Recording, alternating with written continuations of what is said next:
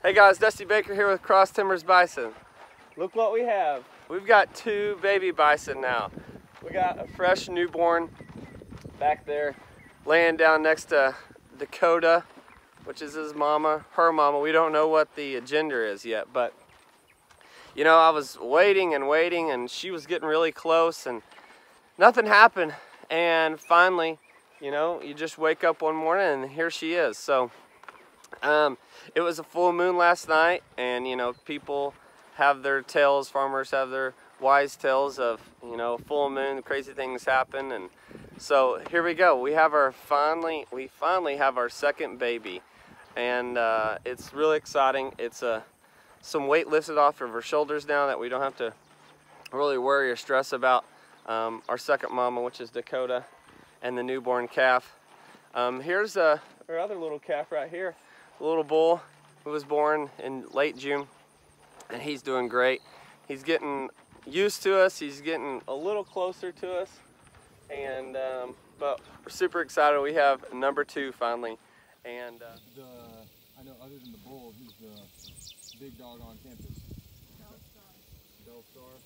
He's the one with the, he's over here.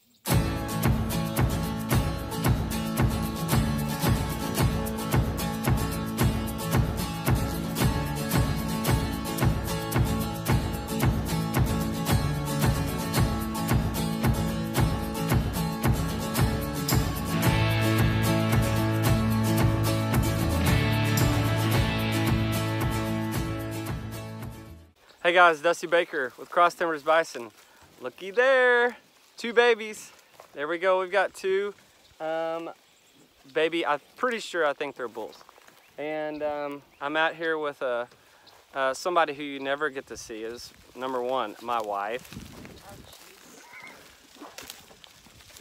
That's Marissa. Say hi to Marissa. She's the one usually behind the camera and doing all the filming, so you don't get to see her very much, but she's a really pretty one. And then we have a special guest, my buddy Cole. My, Cole is my buddy I used to live with when I taught in Plano. He's the guy who really kind of got me into technology. Um, he, you know, taught me how to use a GoPro and talked me into uh, really kind of getting a drone. He was the first guy I hung out with that, that had a drone and things uh, that, you know, all kinds of sorts of stuff that he did with it. So um, anyways, here we are, we're out here with the bison. Cole's never been out here before and we're showing him around a little bit and uh, we come to check out the, the new babies and um, they're doing really, really good. Can't see them right now. They're doing what they're supposed to be doing. They're milking with mama. Look what we have here. Sneaking up behind me. We got the favorite.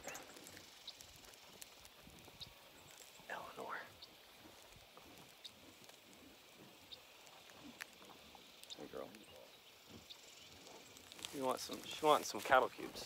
That's what she wants. Okay, so we're hanging out with our new baby bulls. This is about the closest we've been to them. This is, this is pretty good right here. Um, so anyways, uh, what we're gonna do with them. I've, I've been asked that several times.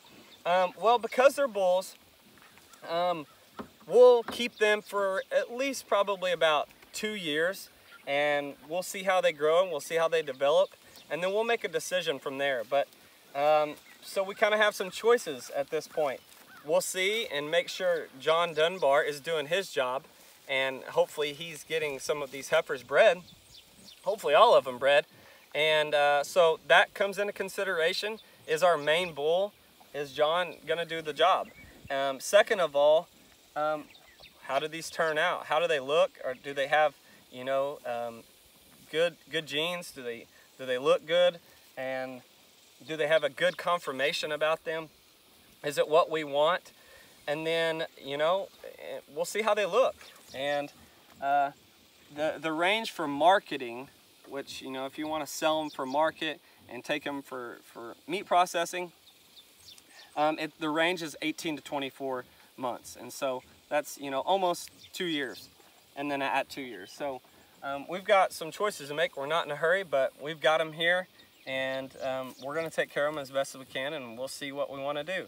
We don't have to make the choice right now, but um, so I hope that answers your question. I, I, can't give you an exact answer, but um, obviously if there were heifers, we're gonna keep heifers. You guys know that I wanna grow our herd and we wanna expand as much as we can with the land that we have here. And uh, we're able to expand uh, with, with the land that we have here and the grass and, and the facilities. As you know, I'm about to build uh, new facilities. So all that comes into consideration. Um, but unfortunately, there's no heifers, which is okay. But um, you know what? We've got two little good bulls and they come from two really good mamas. Marissa did a great job picking out some good mamas. And so um, we'll see how they we'll see how they do. Uh, another question I, I've been getting lately about these calves. So I bought those two heifers. They're actually Marissa's heifers. Um, she picked them out um, at uh, the bison sale here in Sulphur, Oklahoma last November. Um, so I always say mine, they're actually her two. Um, of course she has the two best ones, but um, so these are her calves and uh, she had two baby bulls. But um, so people ask me, are, are, these John Dunbar's babies? You know, we talked about names and people were talking about, you know, trying to some, come up with something related to um, Dances with Wolves and John Dunbar. Well, these are not his babies yet. Uh, remember, when we bought them in November, they were already bred. And um, so that, that's something we wanted to do is try to have babies as soon as we could because it takes bison so long to reproduce. And um, so uh, they are bred from, I don't know what bull they're exactly bred from. I'd have to ask um, their previous uh, ranch manager up in the Quapaw, but they, um, they come from another bull. And these heifers came from a ranch with hundreds and hundreds of acres. And um, so I have no idea exactly what bull they came from, but they are not John Dunbar's. Um, so hopefully by this time next year, we'll have some John Dunbar babies and I'll be asking you guys for some opinions on some names. So uh, we still haven't come up with any names yet. I think we may have one picked out on the first one. I liked, uh, we had somebody put, uh, I think it was Chaska, which was um, part of the Sioux tribe. So the Quapaws are a descendant of the Sioux. Um, and when the Quapaws relocated here in northeastern Oklahoma, they got a bunch of land in, in northeastern Oklahoma, and uh, but they're still a branch of the Sioux. And somebody posted uh, on my comments or commented on one of my videos, and uh, said Chaska, firstborn, which is under Sioux.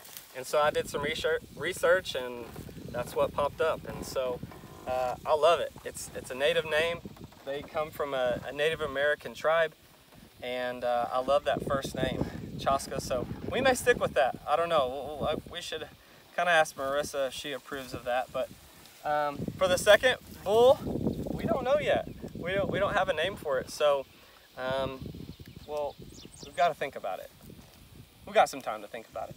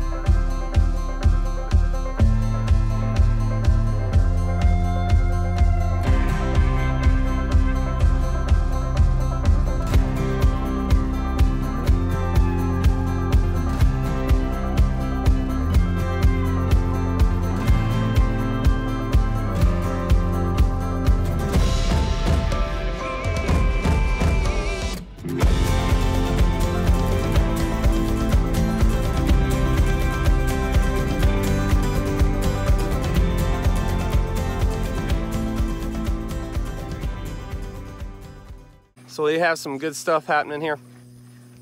Got the babies. They're doing really well.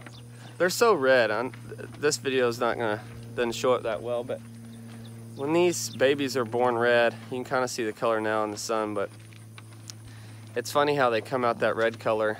Um, it kind of reminds me of a white-tailed deer in the summertime. They have that same red color, cinnamon uh, color that I usually refer to, a lot of producers refer to as that cinnamon color. And um, it's just pretty neat that they're that color and you know, these guys are brown as can be. So just nature's way of uh, maybe that camouflage, summertime camouflage uh, that they have. And then they'll, you know, over time turn into that dark brown color that we all love. Looky here, we got lots of guests today. We've got Cole, we've got DJ, sister DJ, and we've got my wife Marissa, and don't forget my favorite niece, Emma Lou. Everybody's come out to see the boss, and This is DJ and um, Emma's first time to see the baby. Babies. Has Daniel seen the babies yet? Not both of them. Not both of them. Um, yeah, so this is the first time uh, some of the family has got to see the babies since we have two now, which is really fun. So here they are. They uh, come up to the corral. Uh, when they come up to corral, it's two things. It's one, I want to be fed, or two, it's watering time, and they come up here uh, quite a bit to get water. So, but this is the fun part. We've get, you know, take the ATV out, which uh, a couple of videos back I showed you um, how we take the ATV out and kind of a safer way for people to see the bison and get up close to them because they come up to us and they want some cattle cubes.